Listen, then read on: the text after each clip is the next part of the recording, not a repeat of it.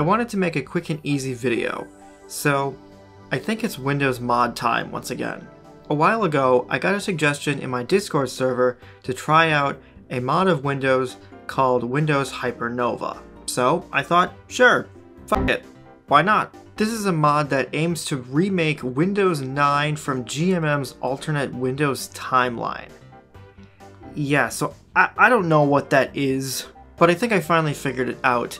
It's mentioned on this website, which is the only site that I could find on this, and it references this video. And skipping to about 8 minutes in, we get a look at this so-called Windows 9, and yep, comparing the two side by side, they look identical pretty much. But ignoring that, this appears to be pretty similar to Windows Longhorn, both pre and post reset, taking a lot of visual elements from that. As you might know, I've done a lot of Windows Longhorn nonsense on this channel, so this kind of thing certainly piqued my interest. I've already covered another mod on my channel called Windows 2007, which is another Windows Vista beta inspired mod, and for that I used an HP Pavilion DV8000. However, that computer doesn't work anymore, so we're going to use a slightly different machine, an HP Pavilion DV5000 from about 2006 with an Intel Core Solo T1350 CPU, 4GB of RAM, and Intel 945 integrated graphics. It's certainly nothing special, but it will do the trick. Since this is apparently based on Windows Server 2003, I was worried that this wasn't going to be possible on physical hardware because it wasn't going to be able to be put on a USB stick via Rufus, but that isn't the case. Taking a look at the ISO file structure reveals that this is apparently using the setup of Windows 7. A lot of the files originate from about 2011, and it's configured using a Windows image, so this can be put on a USB stick without any problem.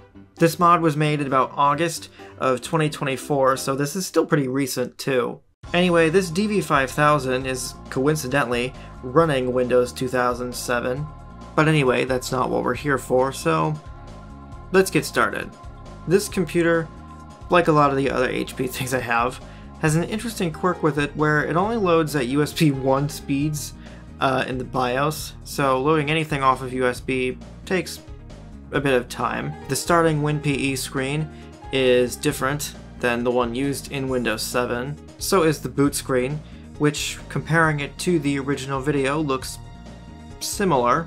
The background of the setup is different. It also contains the license agreement for Windows XP Professional, but otherwise, a lot of this is just standard Windows 7 stuff that you might expect. There's nothing really too crazy there. The Windows image file is a lot smaller than a typical Windows Vista or Windows 7 one. It's about 1.3 gigs.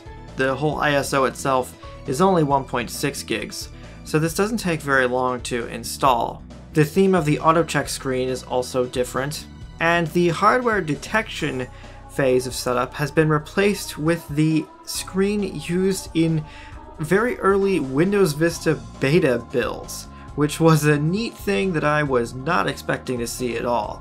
It really didn't take that long to install, and when we were done, the changes stopped with the out-of-box experience. This is just using the Windows XP out-of-box experience, though ClearType is enabled. But otherwise, after that, it looks pretty much identical to the stuff shown in the video.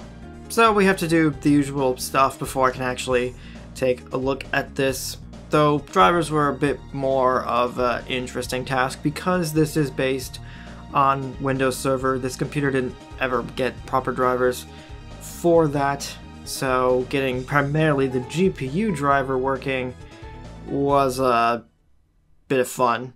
The logon screen's a bit interesting. It's got kind of a mix of the post-reset Windows Vista Beta 1 logon screen mixed with the color scheme of the original Longhorn setup. At least that's what it looked like to me. It's also got a post-reset Windows Vista theme going on, at least on the taskbar, as well as the start menu. Several other Windows Vista Aero elements are in this OS, like an Aero inspired mouse cursor, and a lot of icons throughout the operating system are different. The visual style is based on the Jade theme from late pre reset Windows Longhorn builds. It even goes dark when you fully maximize a window. But what's also interesting is that you can apparently enable Aero on this by doing some registry mods similar to post reset Longhorn that we will cover eventually. You can get a glassy theme enabled in this, which on a Windows XP based thing is uh, uh, is very interesting. It's definitely pretty glitchy. It also doesn't really work that well on this computer, but it's pretty cool. You can also run the WinSAT Aurora thingy from post reset Longhorn builds on this. A lot of the Windows Explorer elements are still unchanged compared to Windows XP. I feel like there's just kind of limits on how much you can really change. But there have been some things added in Control Panel, like ClearType tuning, which was an applet found in Windows 7 beta versions. There is also a new personalization window, which mimics the one found in early Windows Vista builds. It has the characteristic of pre-reset Longhorn, however, in that it's basically just a hub uh, that contains shortcuts to the old style window. Now, in a mod like this, again, that kind of makes sense. There's also been an entire new sound scheme that's been added.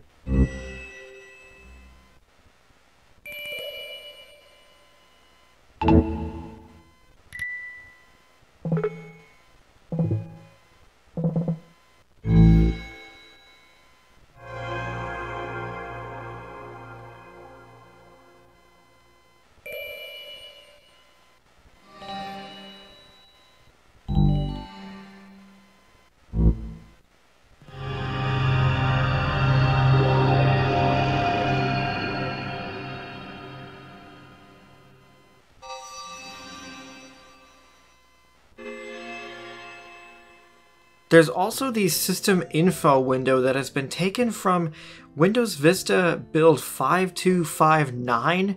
This never actually made it into a final version of Windows, so this wasn't really something I was expecting to see here. The banner in any of the About windows uh, has also been changed to one that's pretty much just the Windows Longhorn one, except uh, the text has been replaced with Windows Hypernova. There's also been some Vista E programs that have been added. You can install the sidebar from Vista build 5219.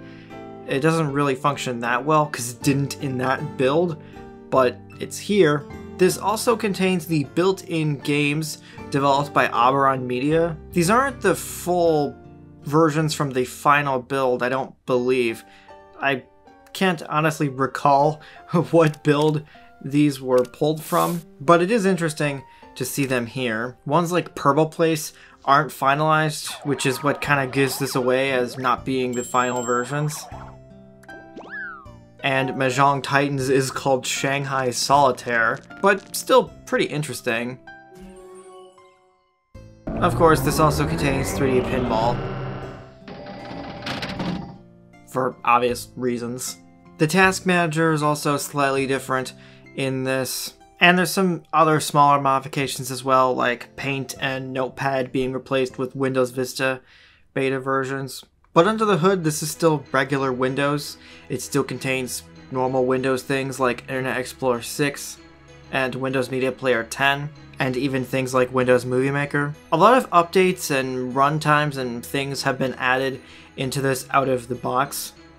So it's, in theory, possible to install things and actually use this. Not that I had any brilliant ideas for this. I did check anyway to see if any updates could be installed on this because I didn't know that until after I tried. But it's got a lot of stuff already built in, and it even includes things like One Core API. So yeah, you could in theory actually use this for stuff. So this mod's definitely pretty interesting. I always enjoy taking a look at these fun, goofy Windows mods that actually sort of try to be, like, official. And this one's done pretty well. It seems as though there was quite a bit of work put into this. there's definitely some issues with it. There are some that are noted in a document on the desktop. The most annoying one that I found is that USB drives don't properly work in Windows Explorer until you reboot the computer every time, which can get a little bit annoying. Really about it, otherwise, it's not bad at all.